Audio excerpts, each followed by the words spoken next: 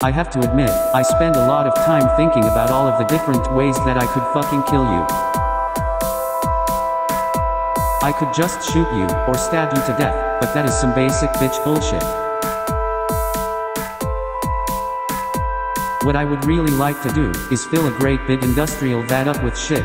Then, I would tie you up, and suspend you over it, upside down. Then, I would ever so slowly lower you head first, into that ridiculously huge, steaming, rotten, vat of fresh shit. That's right motherfucker, I'm going to dip your head in shit repeatedly, until you have no choice but to open your mouth, and keep swallowing shit until you fucking die. Gonna dip you in the shit, gonna dip you in the shit, gonna dip you in the shit. Gonna dip you in the shit, gonna dip you in the shit, gonna dip you in the shit. Gonna dip you in the shit, gonna dip you in the shit, gonna dip you in the shit.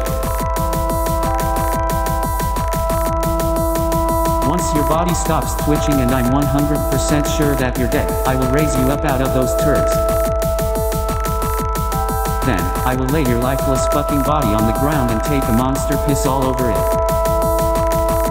Oh hell yes, that's how I am going to fucking kill you. Any questions, you dumb little fuckface piece of human trash?